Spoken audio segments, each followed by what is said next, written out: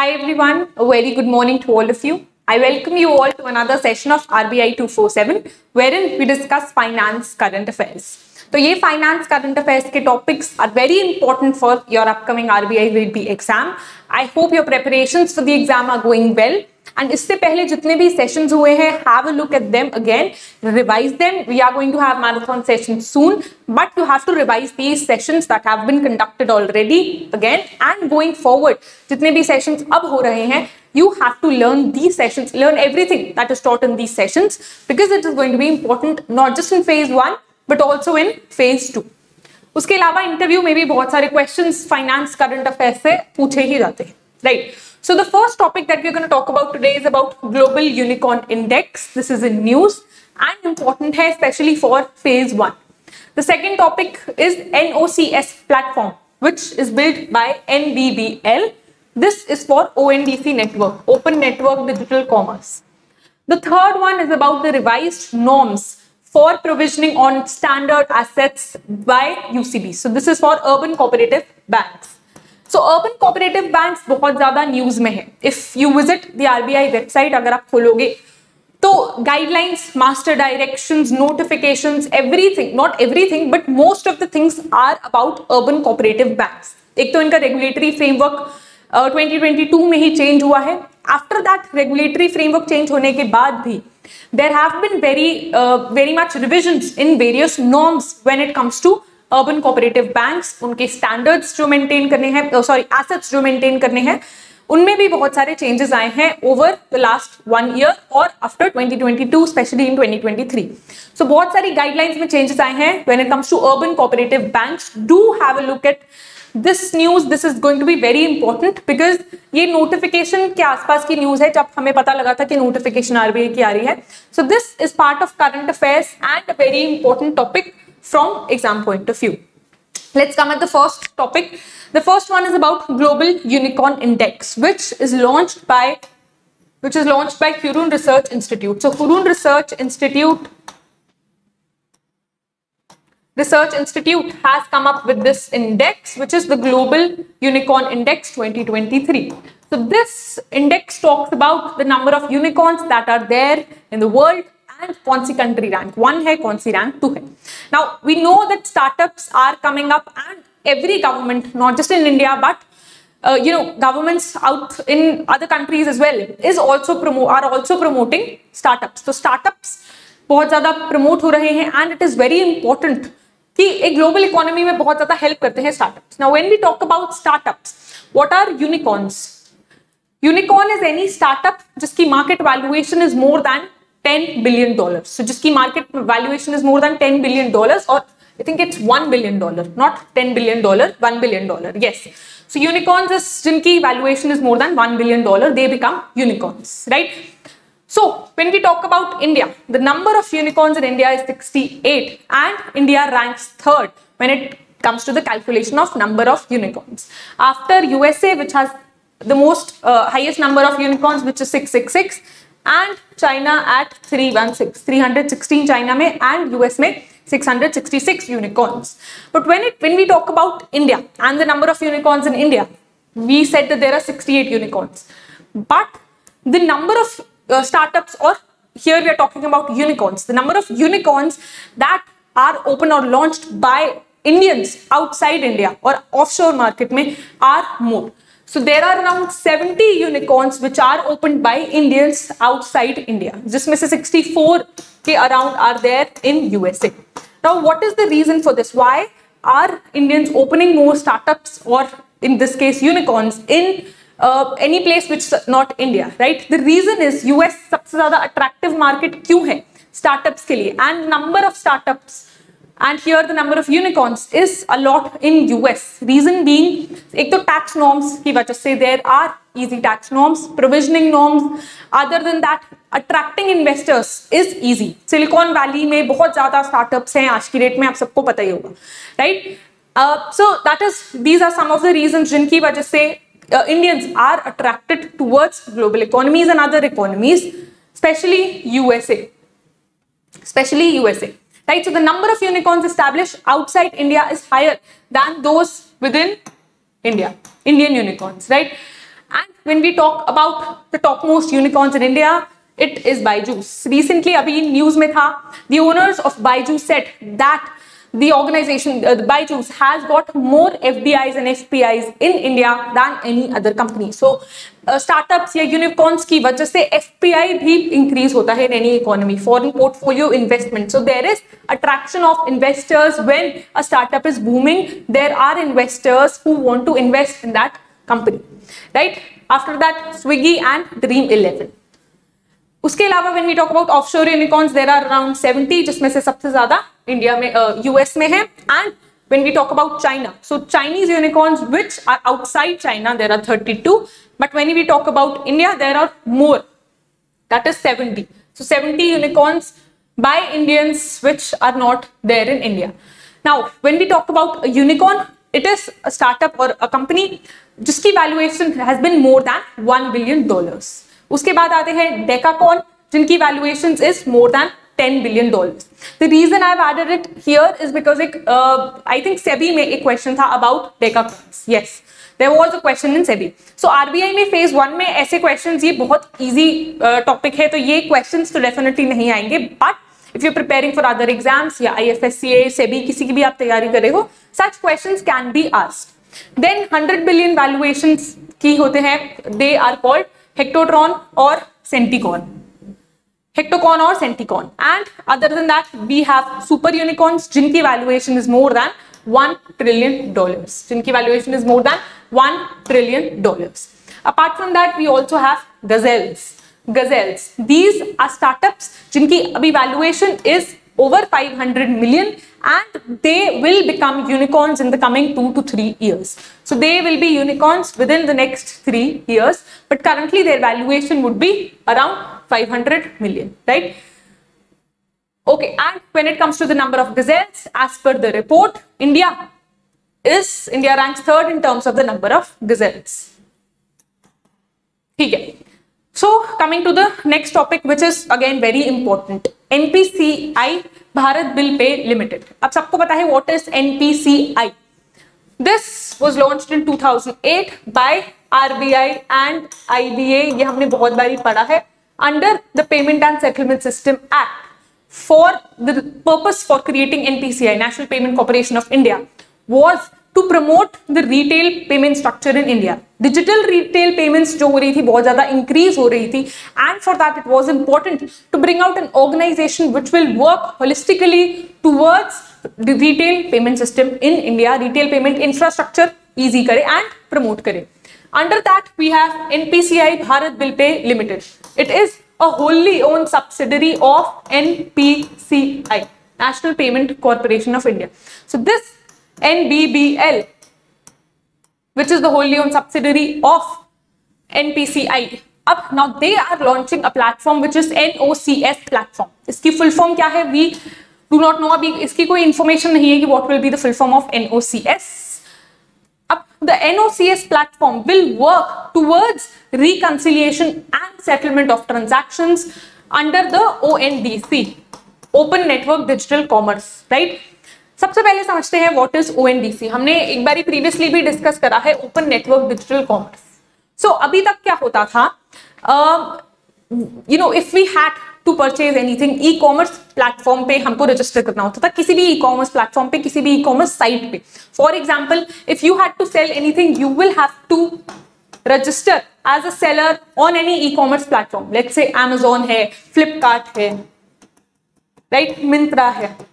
you have to register yourself as a seller on any platform to sell your products, right? Or give any service. तो आपको किसी platform पे register होना पड़ेगा. Similarly, if I have to purchase anything from you, I will have to register myself as a buyer on these platforms. इन पे मुझे अपना account बनाना पड़ेगा, right?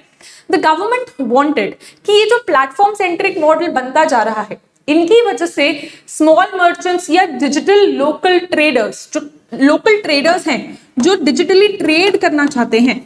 they are not getting a chance to participate in the digital e commerce structure they are not getting a chance to participate in the e commerce structure ठीक है?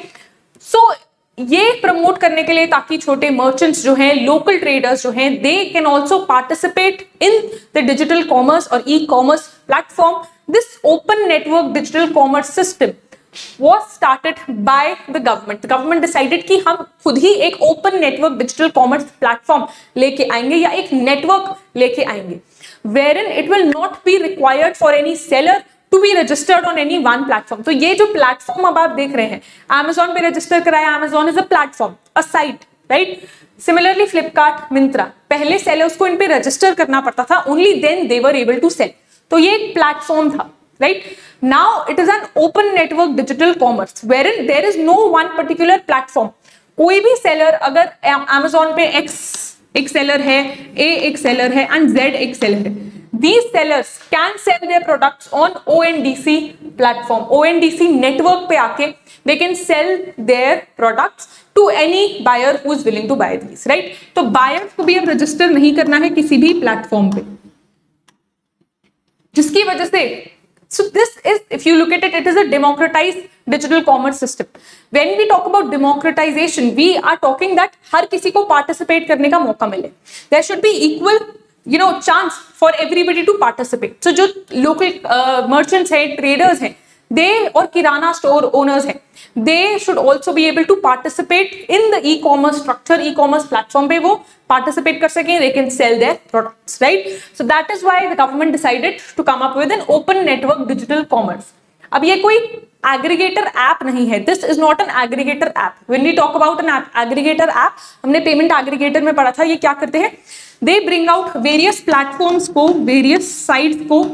एक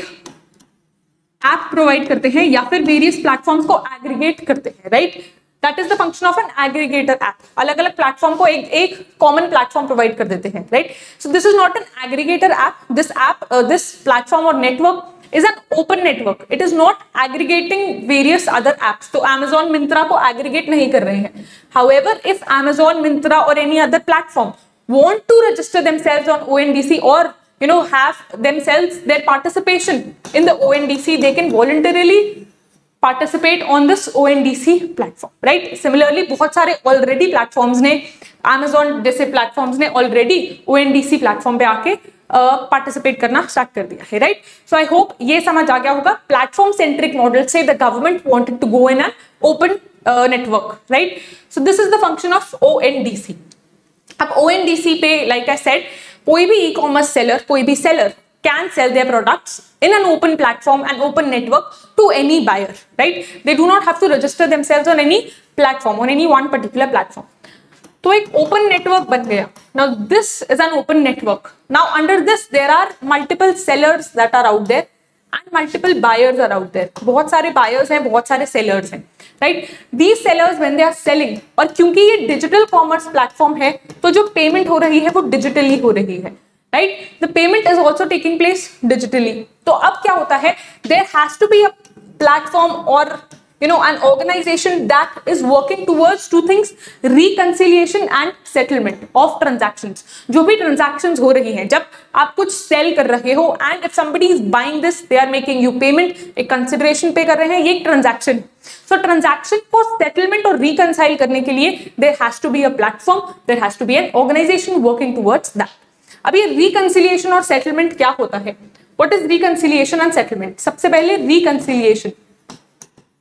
reconcile करना क्या होता है? When you have given information from one source and then you have information from other source आप उसको reconcile करते हो राइट right? अगर आपको एक स्टेटमेंट मिली है let's say uh,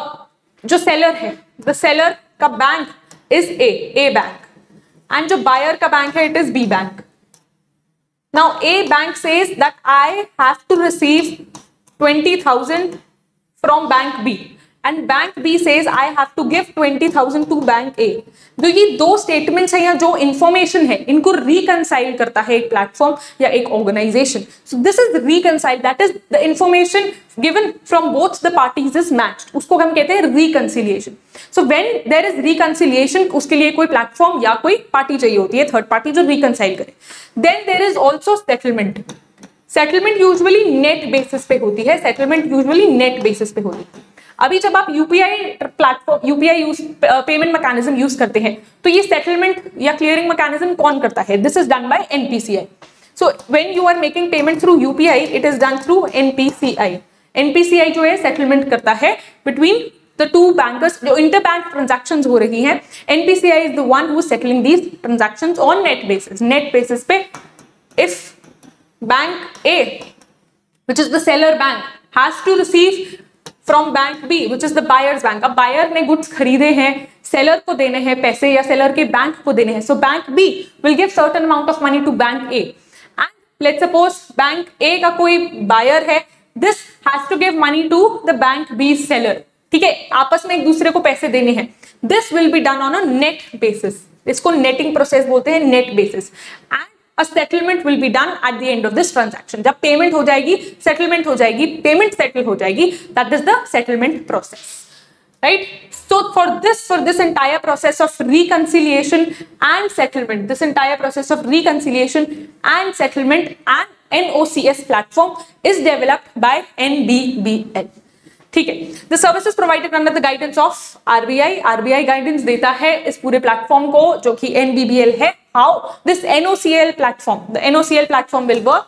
the guideline will be provided by the RBI and it will serve as a foundation for ONDC network ONDC में बहुत सारी फिनटेक कंपनीज़ भी पार्टिसिपेट कर सकती है which was decided by the government that many you know fintech companies who want to provide their services towards the O N D C network O N D C platform can also voluntary do that okay the NOCS platform is integrated with various banks ये जो platform है this will be integrated with various banks fintech and e commerce player when we are talking about fintech अब जो fintech companies के through payments होती हैं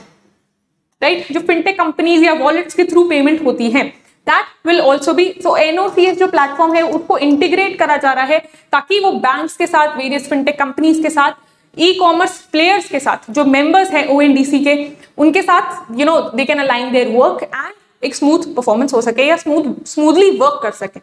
So the platform will go live initially with first set of five banks सबसे पहले five banks के साथ this platform is going to go live these are the five banks AU Small Finance Bank Axis Bank HDFC IDFC First Yes Bank please remember this okay अब ये ONDC के बारे में है हम ऑलरेडी समझ चुके हैं what is the function of ONDC I hope NOCS का फ़ंक्शन भी आपको समझ आ गया होगा this NOCS platform will work towards reconciliation हमने समझ लिया reconciliation क्या होता है when the information that is provided by one party and another party is reconciled and a decision is made that is reconciliation then there is settlement अब ये settlement net basis पे होती है जैसे interbank transactions होती हैं वैसे ही these settlement will take place जो buyer का बैंक है और जो seller का बैंक है they will make payments to each other but on a net basis not on a gross basis ठीक है this is reconciliation and settlement process okay now the third news third news today and very important is about revised norms towards provisions that are maintained by UCBs and especially in standard assets सबसे पहले UCB का structure change हुआ था इन जुलाई जुलाई 2022 में decide हुआ था I think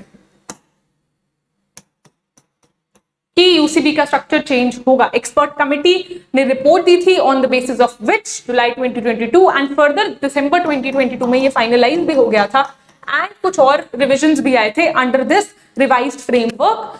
revise regulatory framework towards UCBs इसमें decide हुआ था कि यूसीबीज जो है now they will be categorize in four tiers based on their deposits ये हम बहुत बार पढ़ चुके हैं। बेस्ड ऑन देयर डिपॉजिट्स तो सबसे पहले टीयर वन में आएगा यूसीबीज और salary owners UCBs irrespective of the deposit size जो अभी तक उनके जो भी डिपॉजिट साइज़ है, अब उनका जो डिपॉजिट साइज़ है it should be up to hundred crore right so UCBs जिनका डिपॉजिट साइड है up to hundred crore other than that, deposits of more than 100 to 1000 crore will be in tier 2 tier 3 में deposits will more than 1000 crore and up to 10000 crore and UCBs with deposits of more than 10000 crore will be in tier 4 ये बहुत important है please याद रखना and this has already been taught if you want any more information on this you can watch the previous videos आज हम provisions और assets के बारे में discussion करने वाले हैं Now, what is an NPA? सबसे पहले हमें ये पढ़ना है ये आई होप सबको ही पता होगा if you are preparing for RBI grade B exam this is something that you should know and I hope you already know NPA क्या होता है non performing asset so banks जो लोन्स देते हैं lot of times this happens that loans are not being repaid by the borrower तो borrower जो है loans को repay नहीं करता if this happens for 90 days अगर 90 days तक principal and interest payment नहीं मिली है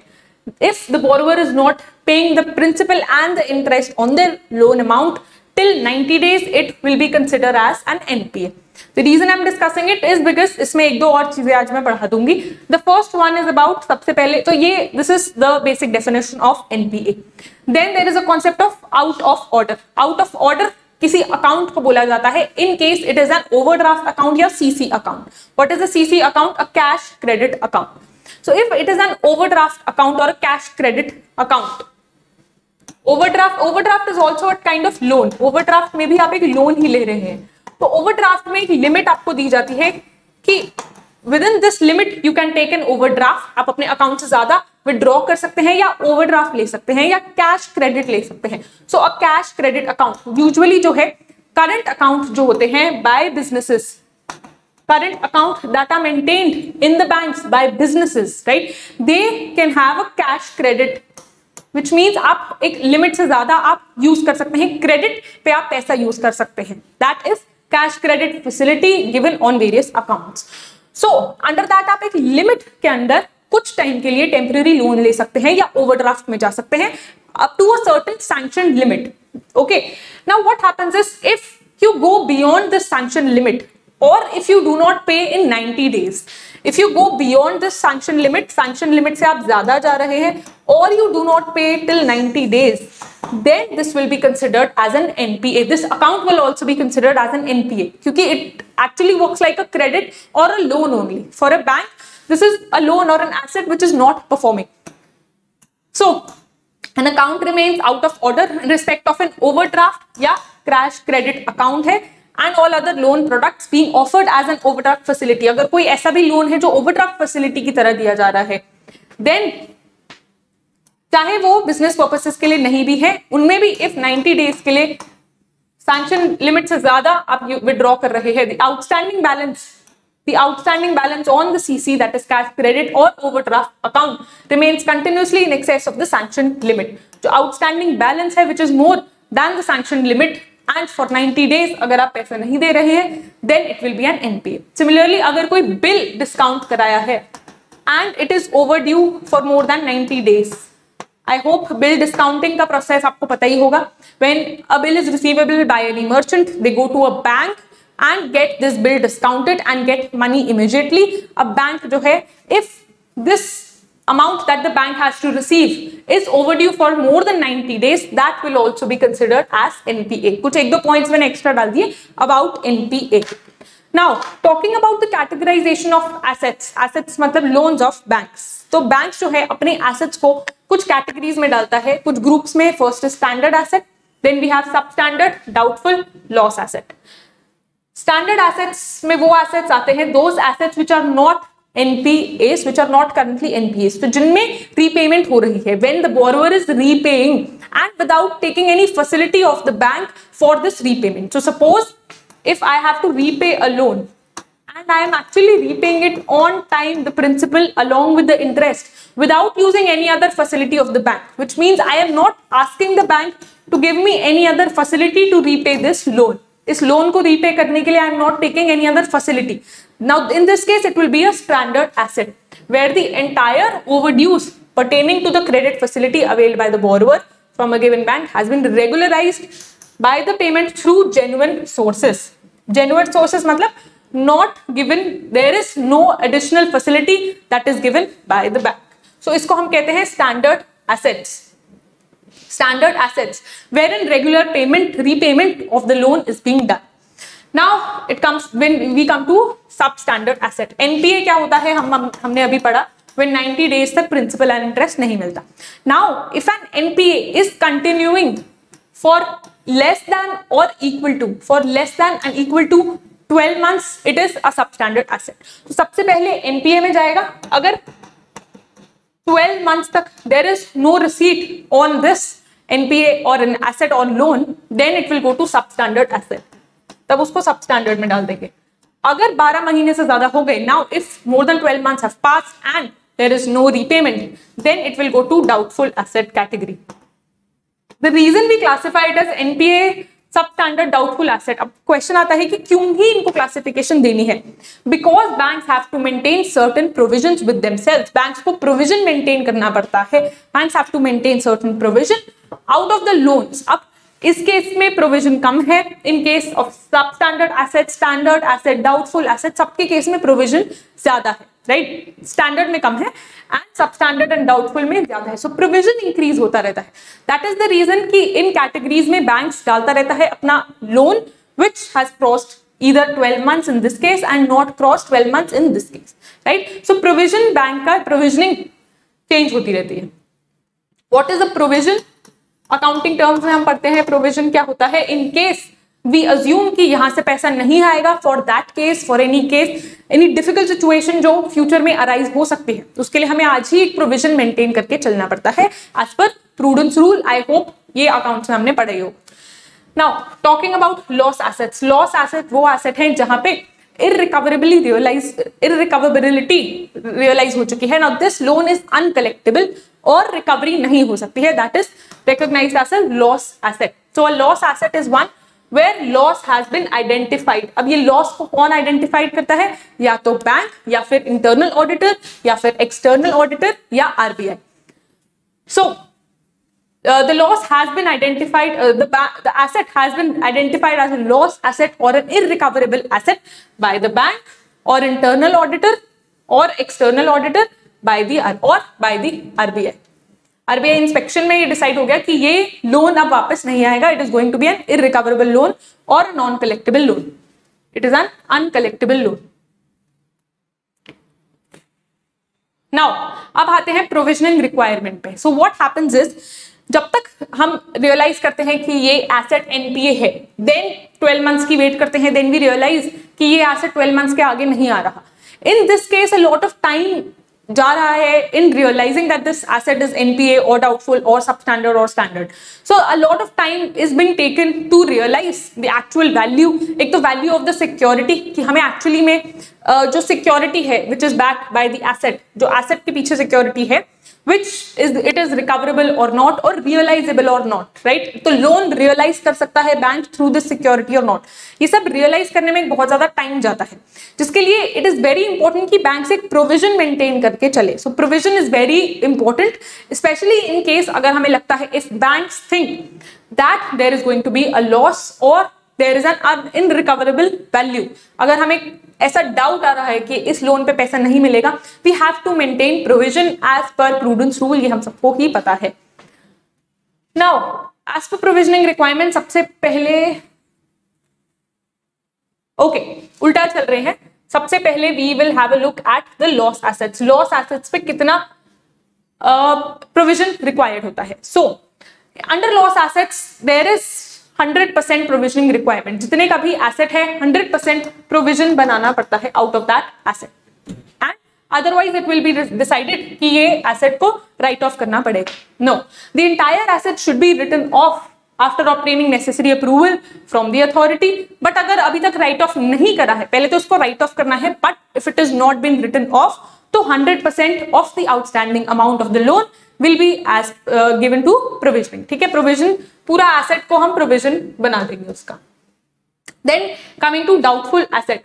तो अब डाउटफुल एसेट में क्या होता है? If there is any security if there is any security suppose house property की पेपर है या हाउस मॉडगेज करके लोन लिया गया है and we know that this house will have a realisable value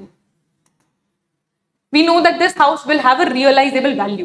Now, in case there is no realizable value of the uh, security that is there. There is no realizable value of the security that is there. उस case पे we know that it is not a secured loan उस case पे 100 percent provision बनाना पड़ेगा. उस case में 100 percent provision बनाना पड़ेगा in case we know that there is no realisable value of the security however अगर कुछ सिक्योरिटी रियलाइजेबल है कुछ अगर कुछ एसेट का कुछ ऐसा पार्ट है which is not secured there is certain part of the asset which is unsecured और not secured it is unsecured तो 100 परसेंट बनाना पड़ेगा। हाउएवर कुछ सिक्योर्ड है। If there is any secured amount तो प्रोविज़न 20 टू 100 परसेंट के बीच में। Then the provision is 20 to 100 percent in regard to the secured portion in regard to the secured portion of the asset the provision will be made on up to 20 to 100 percent of the secured portion जितना भी secured portion है, उसका 20 to 100 percent bank को provision maintain करना है right so if suppose एक security की वजह से कुछ एसेट की वैल्यू मिल रही है if it is a hundred lakh की लोन हंड्रेड लाख का लोन था एंड द सिक्योरिटी बेच के we are able to get twenty lakh the rest इस केस पे दिस इज़ सिक्योर्ड इस केस पे 20 to 100 percent will be the provision however the unsecured portion will be 100 percent उसका provision maintain करना करना पड़ेगा बैंक्स को। Now talking about substandard assets which is less than or equal to uh, 12 months इस पे general provision general provision बनाया जाता है general provision general provision of 10 percent ten percent of the total outstanding loan 10 percent of the total outstanding loan in case of substandard asset अब इसमें there is no allowance made for ECGC guarantee तो जो small and medium enterprises हैं उनको export credit guarantee corporation जो है guarantee देता है लोन की right guarantee is given by this fund from this fund ECGC का fund a guarantee is given to SMEs SMEs loan right अब the bank RBI से कि इसका प्रोविज़न नहीं बनाना है या इसका अलाउंस जो मिलेगा उसको कंसिडर नहीं करना है। अगेन प्रूडेंस रूल एज पर prudence rule we have to think of the losses and not the possible profits right now, we come to standard assets, जिसमें आप change आया है. So, the change is in standard asset, right? But हमारे लिए important है कि हम doubtful asset का कितना प्रोविज़न है, वो भी याद रखें. And for substandard asset loss asset सबका हम प्रोविज़न याद रखें. स्टैंडर्ड का तो बहुत इंपॉर्टेंट है. We have to remember this standard assets का कितना प्रोविज़न बैंक्स को मेंटेन करना है स्पेशली यूसीबीस को. Now this is the general norm सबसे पहले the advances given to agriculture and SMEs small medium enterprises को जो advances given है उस केसेस उस केस में टीयर टू पे अब तक what was the provision 0.25 since it is a standard asset since it is a standard asset standard asset है रेगुलर पेमेंट हो रही है रीस्ट्रक्चरिंग ऑफ़ लोन अभी तक नहीं हुई है in this case the uh, the provisioning is very less that is why it is only 0.25 and 0.25 talking about commercial real estate sector but not housing sector real estate sector but not residential housing sector उस case में है one percent but if it is residential housing sector तब है 0.75 0.75 percent और इसके अलावा जो बाकी लोन्स हैं जो स्टैंडर्ड एसेट्स हैं उस पे है 0.4 and 0.25 percent in case of tier one now this is old norms these are old norms अब न्यू नॉर्म्स चेंज हो गए हैं let's have a look at the new norms ये अब याद रख लीजिएगा what uh, what is the percentage to be maintained yeah, under various categories so अब सबसे पहले all these norms will be applicable to all tier 1 to tier 4 सारी UCBs में applicable होगा in this case we were only given to you about you uh, tier 2 and tier 1 now these norms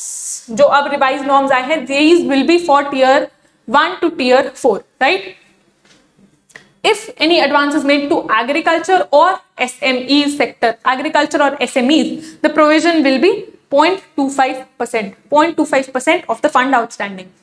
now talking about the commercial real estate sector को अगर कोई loan दिया गया है, उस पर one percent one percent of the outstanding loan Then talking about residential housing sector, it will be 0.75%, 0.75% and any other loan or any other advances it will be 0.4 percent uniform basis पे जो standard assets पे बनेगा that will be 0.4 percent अभी तक 0.25 था for tier one in this case तो सबसे बड़ा चेंज यहाँ पे आया है सबसे बड़ा चेंज यहाँ पे आया है from 0.25 they will be maintaining 0.4 percent in case it is advances to any other sector loans and advances to any other sector which is not these sectors so it is 0.4 percent for all tiers not just tier 1 or tier 2 for all tiers okay तो यही यहाँ पे given है जो अभी तक tier one के UCBs थे they had to maintain 2.5 uh, 0.25 percent they will now maintain 0.4 percent they will maintain 0.4 percent up till March thirty one twenty ये डेट भी इंपॉर्टेंट है प्लीज़ याद रखिएगा March thirty one twenty twenty five now अब जो भी standard assets और loans हैं एज ऑन मार्च 31 उन पे अब ज़्यादा मेंटेन करना पड़ेगा. This is another piece of information अभी तक के जितने भी लोन्स थे जो एसेट्स थे स्टैंडर्ड uh, एसेट्स थे राइट right? उन पे अब ज़्यादा प्रोविज़न मेंटेन करना पड़ेगा which will be done which will be done in a phase manner so phase manner पे होगा। अभी तक जितने भी यूसीबीज हैं which were not creating 0.4 percent वाला 0.40 परसेंट वाला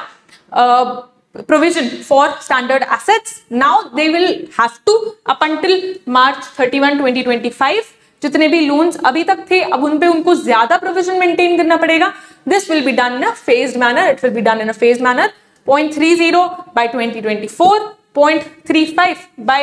2024 September and finally 0.4 percent by March 31 2025 तो ये इंपॉर्टेंट न्यूज़ है फ़ेज़ मैनर पे करना है ये भी याद रखना है and you have to remember the new provisioning norms especially for standard assets it is going to be important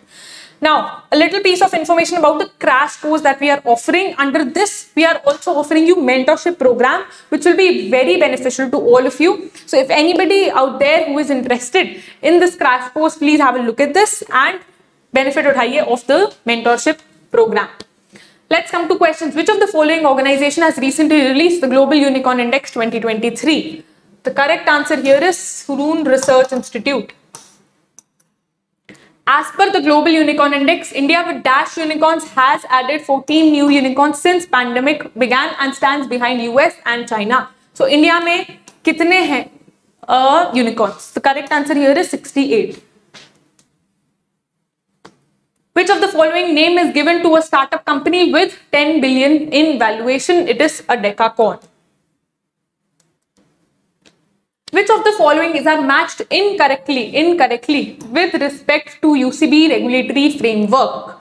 You have to answer this. इसका आंसर आप मुझे बताएंगे specially this is about deposit size तो yes deposits कौन से tier में कौन से यूसीबीज आते हैं उनका डिपॉजिट साइज क्या होना चाहिए very important Recently, RBI revised the provisioning norm of standard asset of UCB. Which of the following statement with regard to the same are correct about the new norms? Again, here सारे ही सही हैं. We are talking about agriculture S SME sector सही है. Commercial real estate ये भी सही है. And in case residential housing sector को दिया है it is point seven five percent it is also correct the only change has been to all other loans which are not included here it is now zero point four percent for all tiers for all tiers zero point four zero percent Which of the following statement is are correct about categorization of assets of banks? Here banks की asset categorization की बात हो रही है not the deposit size but asset categorization तो substandard assets क्या होते हैं? Asset which is classified as substandard if it is NPA for more than twelve months no it is less than and equal to twelve months जब बारह महीने से ज़्यादा जाता है it becomes a doubtful debt if it is twelve months which is equal to twelve months it is still a substandard asset ये भी गलत स्टेटमेंट है. Here it is saying less than twelve months but more than twelve months होता है doubtful asset में. Loss asset is un uncollectable asset this year is correct statement yes this was the last question for today that brings us to the end of the session I hope you enjoy the session and keep preparing for your exams बहुत अच्छे से करिएगा. This year का RBI grade भी exam all the very best for your exam thank you